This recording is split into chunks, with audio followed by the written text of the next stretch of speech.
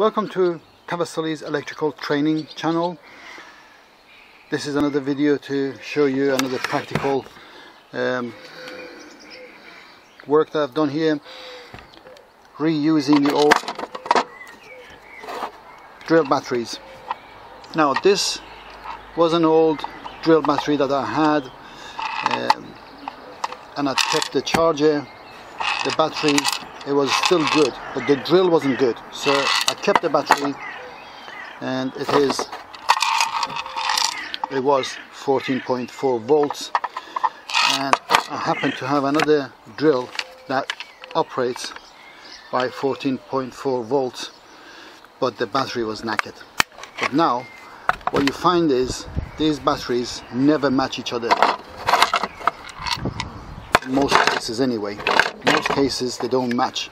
So this wouldn't fit that um, charger. You either have its own charger the new drills charger or you have the old charger. One, one way or the other you need to use one of these old batteries. So you keep these batteries if, if they're good. And if your drill battery goes bad there is a way to change things around the battery that I took out of this the, this casing for this drill these are the batteries that came out. So they're like this. Each one is 1.2 volts um, depending on your battery or your drill. This one this particular one is 1300 milliamp per hour um, or 1300 milliamp hour um, 1.2 volts. Now you had in this particular one one two three four five six seven and there is another three in the middle. That's 10 plus these two that's 12 12 of them 12 times 1.2 that's 14.4 volts. That was originally for this. But like I said the battery that was inside here sorry this was originally in this casing that was naked. Uh, when you take when I took it out it was like this. Now you have these plates that are spot welded to each battery. Some of them are rusty and they've come off. As soon as you move them they just tear off snap. And that's that might have been the possibility of the problem, the original problem to begin with, like this one, is snapped here. That might have been the problem to begin with. Uh, that's caused the battery not to work. or uh, one or two batteries have gone back, or all of them. So what you find is, like I said, the batteries heads don't match, so you can't even fit the same charger. Whether the old charger or the new charger they don't fit each other. So what we want to do is we want to use the, the, the, the current casing. This is the current casing for this but the running batteries the batteries that are good. What I've done I've taken the batteries the good batteries out of this and fitted in this. Uh, when you want to do that you have to um, customize it. You have to move things around. Sometimes it's easy sometimes it's difficult sometimes it's almost impossible unless you have spot welding machines and you can detach these and connect them with new plates and join them again. But I didn't have a spot welder and I didn't want to mess with that. I found I could do this. In this case you have one battery as you see these batteries are like that. And this would come here. This one battery will stand out in in this casing. It stand out in this casing here. So it would be something like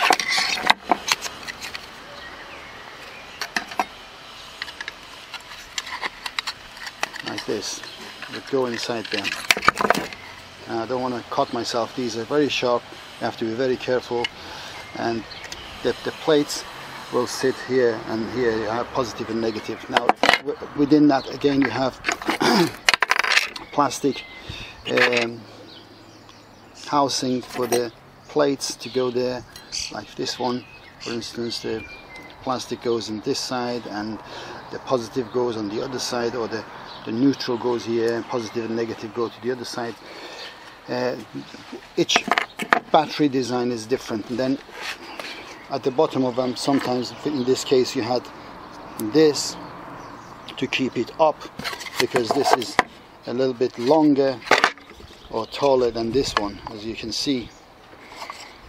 Just a little bit taller um, which makes it difficult again to put that in this. So what I've done I've removed as you see I've removed the uh, plastic housing and some of them have this type some of them have different types and I've changed that as well because originally this one had something like this. Uh, this is an extra one from another one. Again I'll, I'll, show you another battery. I've done the same thing. Another two batteries I've shuff, shuffled things around and uh, managed to use that one.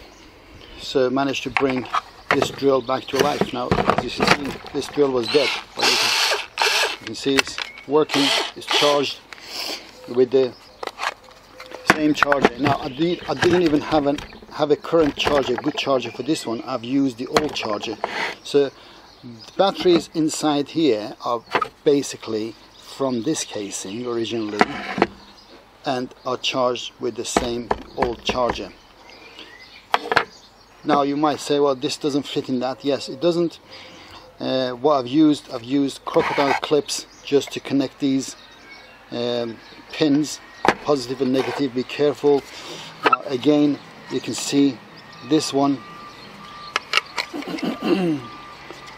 It says when it sits there it says positive here and negative there. This one is positive negative. It, it happened to be the same. Anyway it doesn't go in there uh, and I have to use crocodile clips but when you do that you have to be careful with the polarity positive and negative. Some of them are the other way around. Like in this case as you can see this is negative this is positive whereas this one is positive this one is negative. So it's opposite. You have to be careful with the polarities. I'll show you that one later.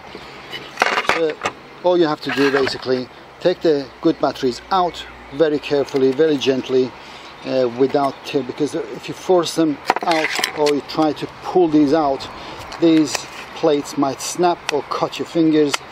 Um, and especially if they're already charged it's even more difficult well not more difficult it's just you have to be more careful because if they touch the uh, wires touch each other uh, cause um, they can cause fire and the batteries obviously get short-circuited and they can really go hot and burn your fingers because they have a lot of current in them um, usually. So that's uh, that now is done.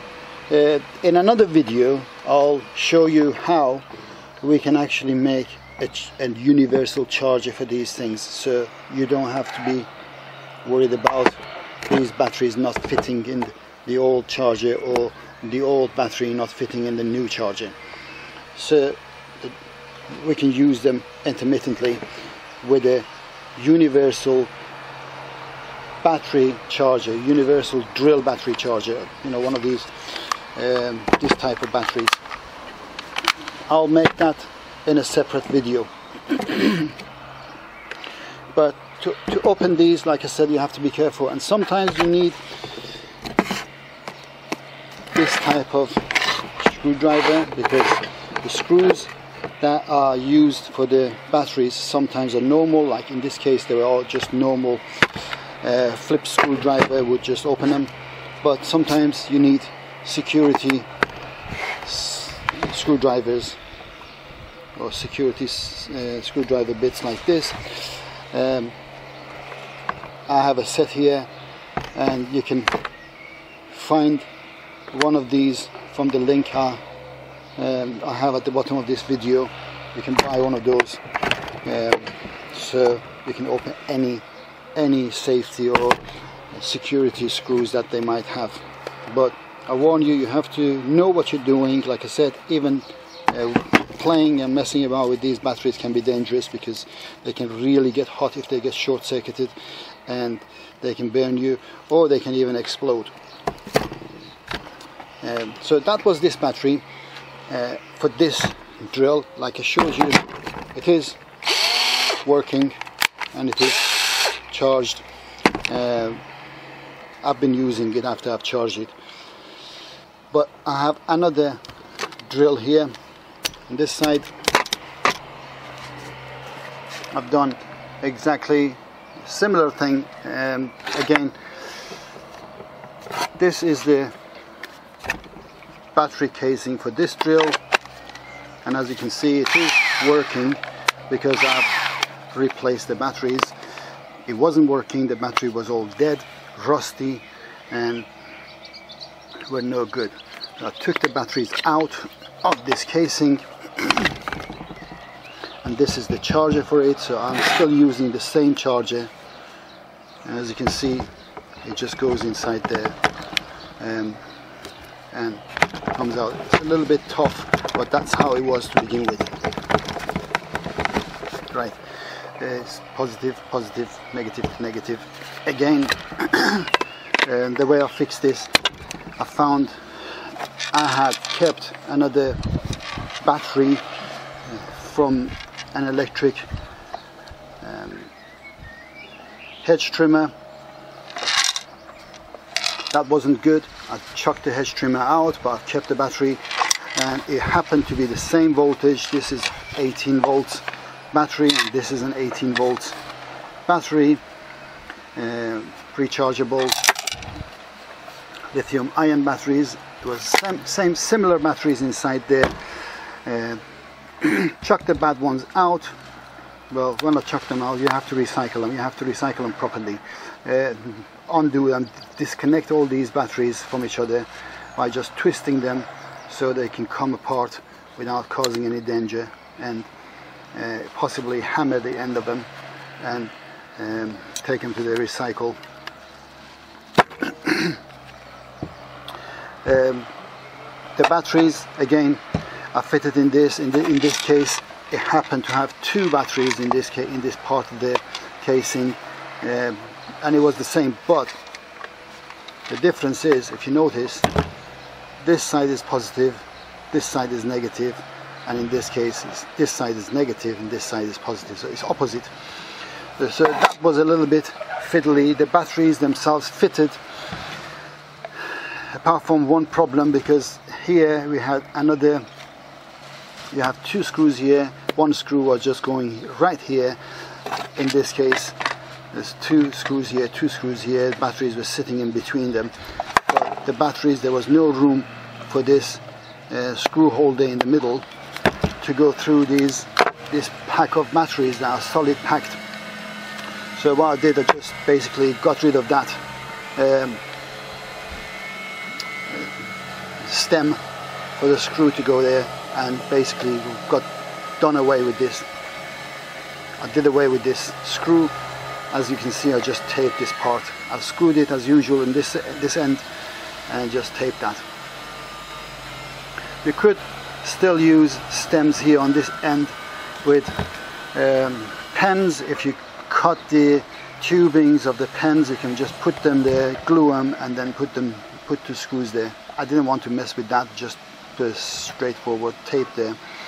And uh, the way I did this part uh, changing the polarity uh, the plastic bit that's holding the plates of positive and negative either side from this end this goes in here with plates either side.